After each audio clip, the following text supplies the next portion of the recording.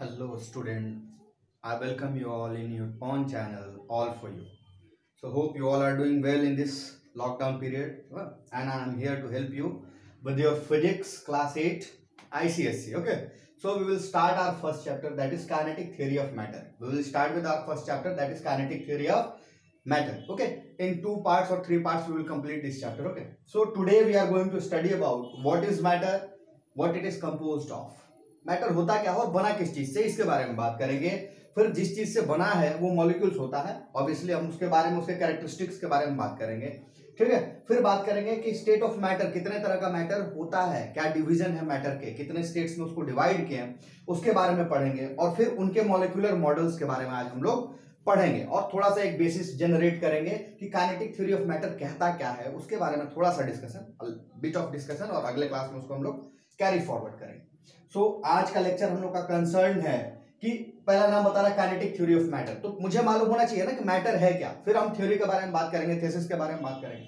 So first of all let's talk about matter what matter is okay so when we say matter it means each and everything we look into जो भी चीज़ देख रहे हो almost almost सब तो नहीं कह सकते. ऑलमोस्ट वो सब क्या है? मैटर है. अब किस चीज़ को मैटर कहते हैं जरा इसको समझते हैं. तो कोई भी चीज़ जिसके पास अपना मास हो। मैं क्या बोला? मास। मास और वेट में डिफरेंस है। तो जिसके पास अपना मास हो और जो कोई स्पेस ऑक्यूपाई करे, ये तो दो मेन कैरेक्टरिस्टिक्स प्रॉपर्टी है।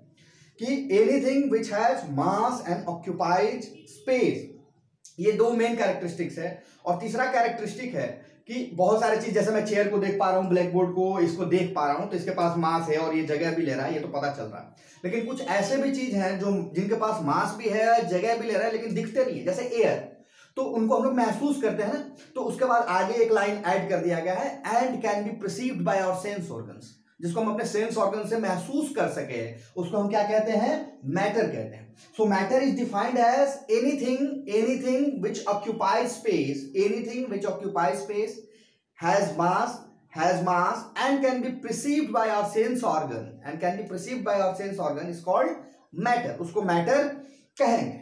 ठीक है, इतना बात तो समझ में आ गया कि उसको मैटर कहेंगे। अब इसके पीछे मैटर किस चीज़ से बना है? इसके बारे में एक छोटा सा कहानी है। पहले जो इंडियन फिलोसफर्स थे, वो ये मानते थे, अभी भी कहा जाता है छिति जल, पावक, गगन, समीरा, पंच तत्व, मिल बना सनेरा।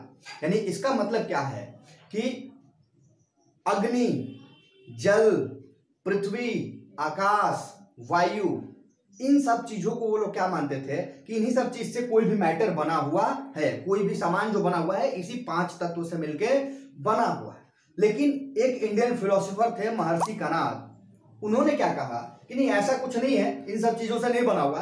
वो जिस चीज़ से बना हुआ है, यानी कि मैं किसी भी चीज़ को तोड़ते जाऊँ तोड़ते जाऊँ तोड़ते जाऊँ तो मैं उस चीज़ को सबसे छोटा जो तोड़ पाऊँगा, सबसे जो छोटा पार्टिकल में कर पाऊँगा, वो जो छोटा सा पार्टिकल लास्ट पार्टिकल मिलेगा, जो इंडिविजुअल हो जाए, फिर से ना टूटे, उसको ही हम लोग बोलेंगे कि उसी से कोई चीज़ मैटर बना हुआ है। और महर्षि कानाद ने कहा कि ये अणु होता है। उन्होंने कहा कि सबसे छोटा जो पार्टिकल किसी चीज़ को तोड़ते जाओ तोड़ते जाओ तोड़ते जाओ लास्ट में जो बचे, जो कि अब नहीं टूट पाए तो वो उसका कंस्टिट्यूटिंग पार्टिकल है कि वैसे ही बहुत सारे पार्टिकल मिल के और पूरा मैटर बना हुआ है, उसको उन्होंने अणु कहा।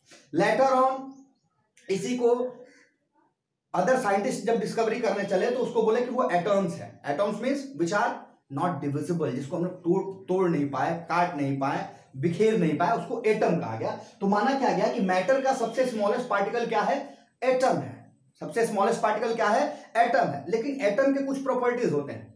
एटम इंडिपेंडेंटली एग्जिस्ट नहीं कर सकता। इंडिपेंडेंटली का मतलब कि अकेले एक एटम को छोड़ दिया जाए तो वो उसका इंडिपेंडेंट एग्जिस्टेंस नहीं, वो नहीं रह सकता। वो जब भी रहेगा कंबाइंड फॉर्म में रहेगा। और जब एटम कंबाइन होता है तो क्या बनता है? मॉलिक्यूल बनता है। Atom combine together to form molecule और मॉलिक्यूल जो होता है, ये जो मॉलिक्यूल होता है, इसका अपना इंडिपेंडेंट एग्जिस्टेंस होता है। इसलिए जब भी हम बात करते हैं कि मैटर किस चीज़ से बना हुआ है तो एक्चुअली बना तो हुआ एटम से बना हुआ एटम्स है। लेकिन चूँकि एटम का इंडिपेंडेंट एग्जिस्टेंस नहीं है, इसलिए हम उसको कंसिडर्ड नहीं करते और हम कहते हैं कि मैटर बना हुआ है मॉलिक्यूल से। मैटर बना हुआ है मॉलिक्यूल से।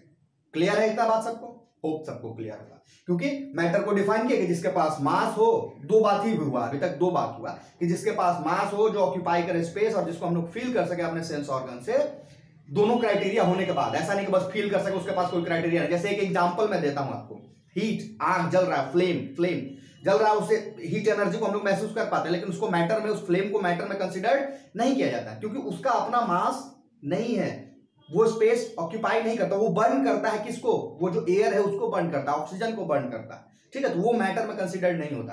तो यानी कि पहले दो कंडीशन होना ज़रूरी है, जिसके पास मास हो ओके जो स्पेस ऑक्यूपाई करे, उसके बाद तीसरा कंडीशन है कि जिसको देख नहीं सकते, उसको फील कर ले तो उसको मैटर बोलेंगे, और वो बना किस चीज़ से? एक्चुअली बना हुआ है एटम से, लेकिन एटम का इंडिपेंडेंट एग्जिस्टेंस नहीं है, इसलिए वो कंबाइन करके बनाया मॉलिक्यूल और मॉलिक्यूल को मानते हैं कि मैटर का सबसे छोटा पार्ट है।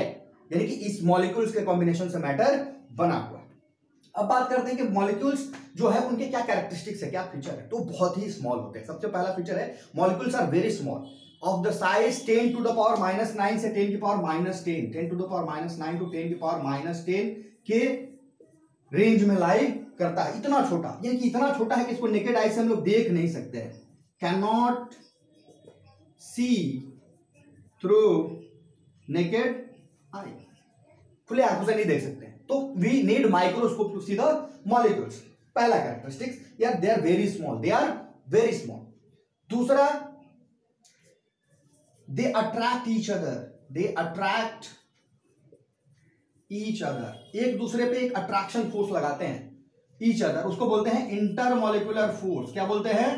इंटरमोलिकुलर फोर्स अब देखो, नाम में ही लिखा हुआ इंटर मतलब के बीच में मॉलिक्यूलर यानी कि मॉलिक्यूल्स के मॉलिक्यूल्स के बीच में लगने वाला फोर्स वो है इंटरमोलिकुलर फोर्स यानी कि वो एक दूसरे को एक फोर्स से अट्रैक्ट करते हैं, ठीक है? यानी कि दो मॉलिक्यूल के बीच में एक फोर्स ऑफ़ अट्रैक्शन है। यदि सेम टाइप ऑफ़ मॉलिक्यूल है तो फोर्स ऑफ़ कोहेजन है डिफरेंट टाइप्स ऑफ़ मॉलिक्यूल है तो फोर्स ऑफ़ एडेजन इसके बारे में बात करेंगे काइनेटिक थ्योरी जब पढ़ेंगे, तब कि फोर्स ऑफ़ कोहेजन क्या है एडेजन क्या यानी कि दो मॉलिक्यूल एक दूसरे को एक फोर्स ऑफ़ अट्रैक्शन से लगाते हैं एक दूसरे पे, और उसको बोलते हैं इंटरमोलिकुलर फोर्स क्लियर है नेक्स्ट बात करते हैं इंटरमोलिकुलर फोर्स जब लगा तो दो मॉलिक्यूल एक दूसरे पे फोर्स लगा रहे तो उनके बीच का स्पेस के बारे में भी बात करेंगे। तो एक इंटरमोलिकुलर स्पेस जो होता है मॉलिक्यूल्स के बीच में, वो इस इंटरमोलिकुलर फोर्स से क्या होता है?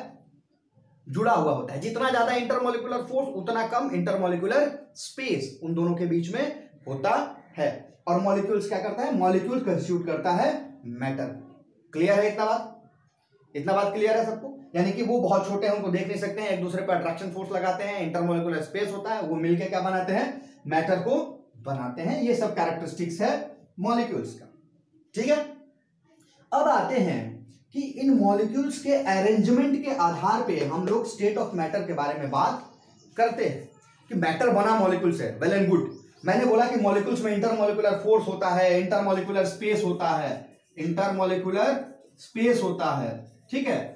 और साथ ही साथ हर मॉलिक्यूल रेस्ट में नहीं है। Molecules are never in rest they have energy they have kinetic energy they have kinetic energy her molecule के पास अपना एक काइनेटिक एनर्जी होता है। यानी कि वो मोशन में है।